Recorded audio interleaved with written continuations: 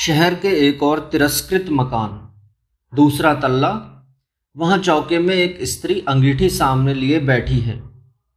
अंगीठी की आग राख हुई जा रही है। वह जाने क्या सोच रही है?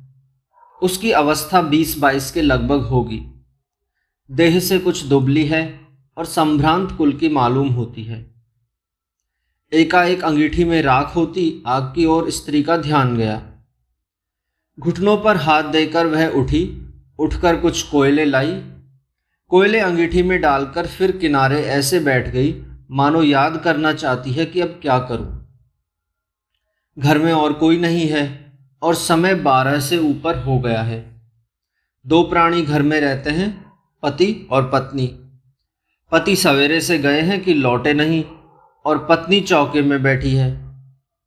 सुनंदा सोचती है नहीं सोचती कहाँ है? असल भाव से वह तो वहाँ बैठी ही है। सोचने को तो यही है कि कोयले ना बुझ जाएँ। वे जाने कब आ जाएँगे? एक बज गया है। कुछ हो आदमी को अपनी देह की फ़िक्र करनी चाहिए, और सुनंदा बैठी है। वह कुछ कर नहीं रही है। जब वे आएँगे तब रोटी बना देगी। वे जाने कहाँ कहाँ देर लगा देते हैं, और कब तक बैठूं? मुझसे नहीं बैठा जाता। कोयले भी लहक आए हैं और उसने झल्लाकर तवा अंगीठी पर रख दिया। नहीं, अब वह रोटी बना ही देगी। उसने खींचकर ज़ोर से आटे की थाली सामने खींच ली और रोटी बेलने लगी।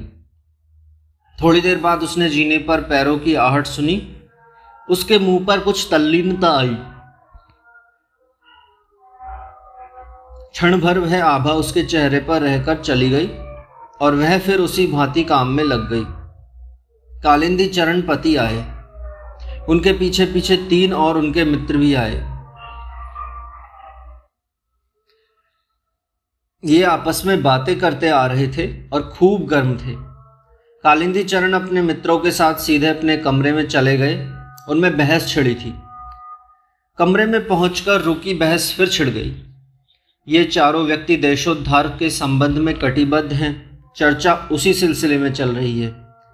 भारत माता को स्वतंत्र कराना होगा और नीति, अनीति, हिंसा, अहिंसा को देखने का यह समय नहीं है। मीठी बातों का परिणाम बहुत देखा।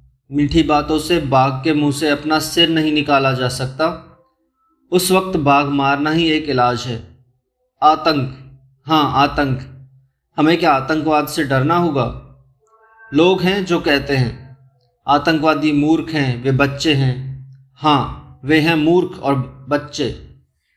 उन्हें बुजुर्गी और बुद्धिमानी नहीं चाहिए।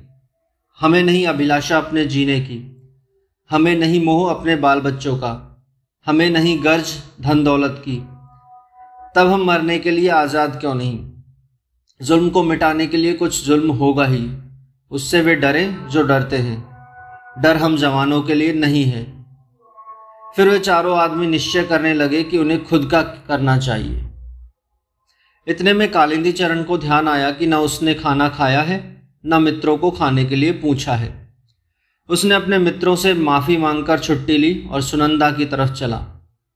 सुनंदा जहाँ थी, वहाँ है, वह रोटी बना चुकी है। अंगीठी के कोयले उल्टे तवे से दबे हैं। माथे को उंगलियों पर टिकाकर वह बैठी है। बैठी बैठी सूनी सी देख रही है। सुन रही है कि उसके पति कालिंदी चरण अपने मित्रों के साथ क्यों और क्या बातें कर रहे हैं? उसे जोश का कारण नहीं समझ में आता। उत्साह उसके लिए अपरिचित है। वह उसके लिए कुछ दूर की वस्तु है। अप्रहणीय मनोरम और हरियाली। वह भारत माता की स्वतंत्रता को समझना चाहती है, पर उसको न भारत माता समझ में आती है, न स्वतंत्रता समझ में आती है। उसे इन लोगों की, इन इन जोरों की बातचीत का मतलब ही नहीं समझ में आता। फिर भी सच उत्साह की उसमें बड़ी भूख है। जीवन की हौस उसमें बुझती सी जा रही है, पर वह जीना चाहती है।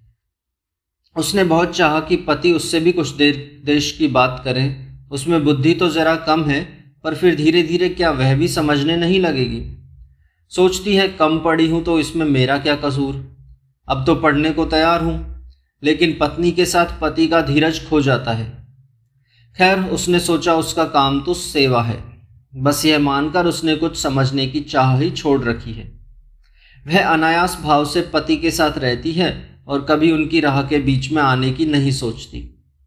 वह एक बात जानती है कि उसके पति ने अगर आराम छोड़ दिया है, घर का मकान छोड़ दिया है, जानबूझकर उखड़े उखड़े और मारे मारे जो फिरते हैं, उसमें वे भला कुछ भला ही सोचते होंगे। इसी बात को पकड़कर वह आपत्ति शून्य भाव से पति के साथ विपदा पर विपदा उठाती रही है। पति ने कहा भी है कि तुम मेरे साथ दुख क्यों उठाती हो? पर यह सुनकर वह चुप रह गई है। सोचती रह गई है कि देखो, कैसी बातें करते हैं। वह जानती है कि जिसे सरकार कहते हैं, वह सरकार उनके इस तरह के कामों से बहुत नाराज़ है। सरकार सरकार है। उसके मन में कोई स्पष्ट भावना नहीं है कि सरकार क्या होती है, पर यह जितने हाकिम लोग हैं, वे बड़े ज़बरदस्त होते हैं और उनके पास बड़ी बड़ी ताकतें हैं। इतनी फौज, पुलिस के सिपाही और मजिस्ट्रेट और मुंश और चपरासी और थानेदार और वायसरा, ये सब सरकार ही है। इन सबसे कैसे लड़ा जा सकता है? हाकिम से लड़ना ठीक बात नहीं है, पर यह उसी लड़के में तन मन बिसार बैठे हैं। खैर, लेकिन ये सब के सब इतने ज़ोर से क्यों बोलते हैं? उसको यही बहुत बुरा लगता है। सीधे सादे कपड़े में एक खुफिया पुलिस का आदमी हरदम उनके घर के बाहर रहता है। ये लोग इस बात को क्यों भूल जाते हैं? इतने ज़ोर से क्यों बोलते हैं? बैठे बैठे वह इसी तरह की बातें सोच रही है। देखो, अब दो बजेंगे। उन्हें ना खाने की फ़िक्र, ना मेरी फ़िक्र।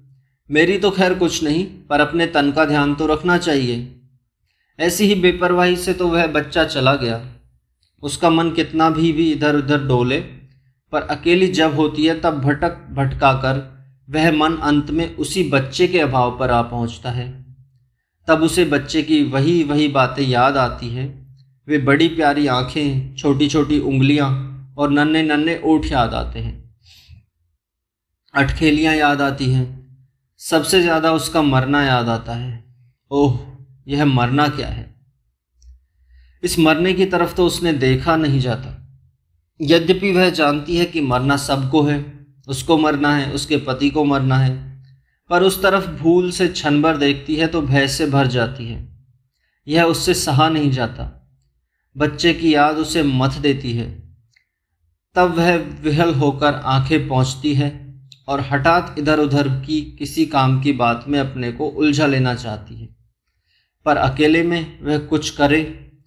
रह रहकर वही याद, वही वह मरने की बात उसके सामने हो रहती है और उसका चित्त बेबस हो जाता है।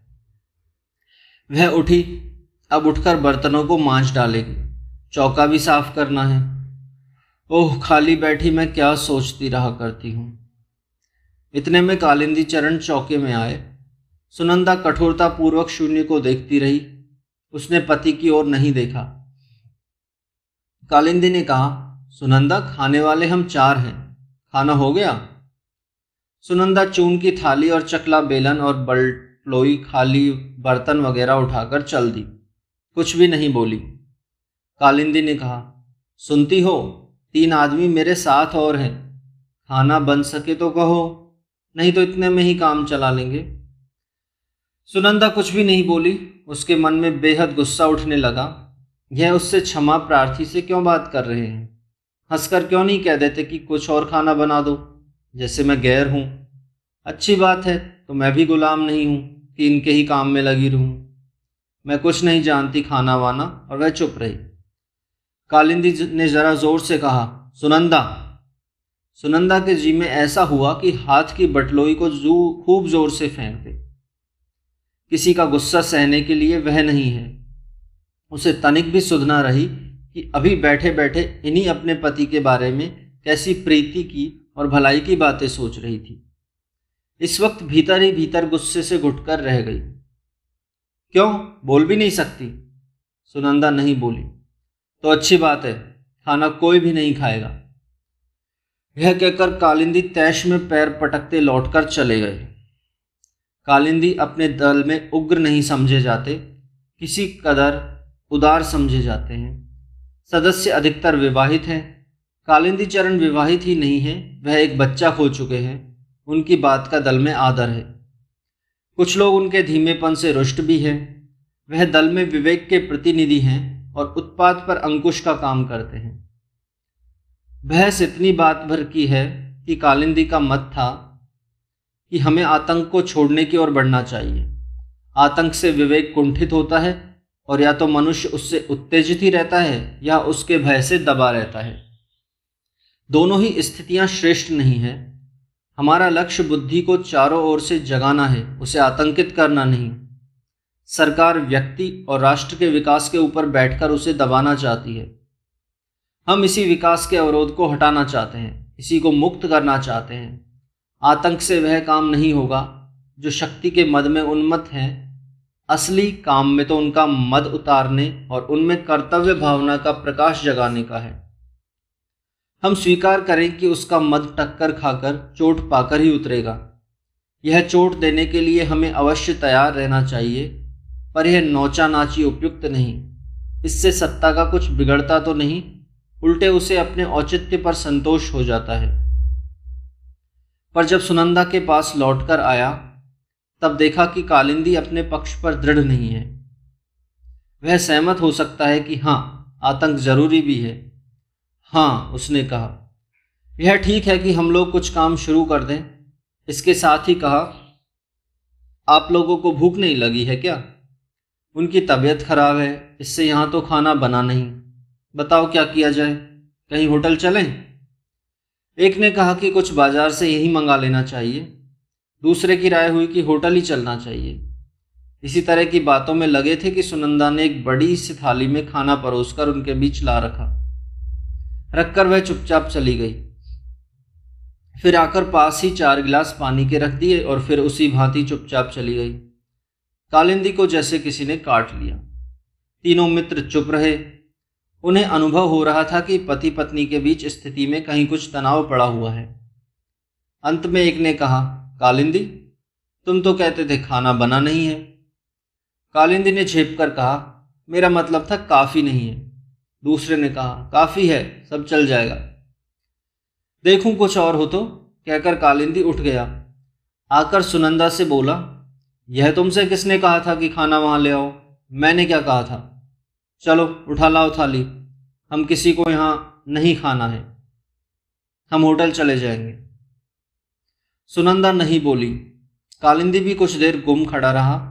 तरह तरह की बातें उनके मन में और कंठ में आती थी।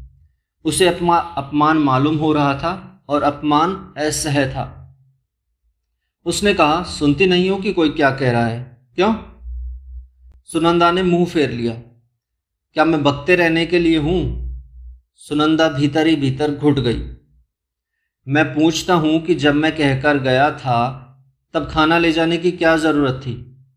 सुनंदा ने मुड़कर कहा और अपने को दबाकर धीमे से कहा, खाओगे नहीं? एक तो बच गया. कालिंदी निरस्त रोने लगा। यह उसे बुरा मालूम हुआ। उसने मानो धमकी के साथ पूछा, खाना और है? सुनंदा ने धीमे से कहा, अचार लेते जाओ। खाना और नहीं है। अच्छा लाओ अचार। सुनंदा ने अचार ला दिया और कालिंदी भी चला गया। सुनंदा ने अपने लिए कुछ भी बचाकर नहीं रखा था। उसे यह सूझा ही न था कि उसे भी खाना है। अब कालिंदी के लौटने पर ही जैसे उसे मालूम हुआ कि उसने अपने लिए कुछ भी बचाकर नहीं रखा है। वह अपने से रुष्ट हुई, उसका मन कठोर हुआ। इसलिए नहीं कि क्यों उसने खाना नहीं बचाया। इस पर तो उसमें स्वाभिमान का भाग जागता था। मन कठोर यों हुआ कि वह इस तरह की बात सोचती ही क्यों है? छी, यह भी सोचने की बात है, और उसमें कड़वाहट भी फैली। हठात यह उसके मन को लगता ही है कि देखो, उन्होंने एक बार भी नहीं पूछा कि तुम क्या खाओगी। क्या मैं यह सह सकती थी कि मैं तो खाऊं और उनके मित्र भूखे रहें? पर पूछ लेते तो क्या था? इस बात कर, पर उसका मन टूटता सा है। मानो उसका जो तनिक सा मान था, वह भी कुचल गया हो।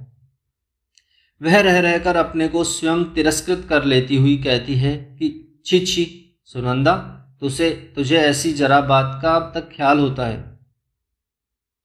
तुझे तो खुश होना चाहिए कि उनके लिए एक रोज भूखे रहने का पुण्य तुझे मिला है।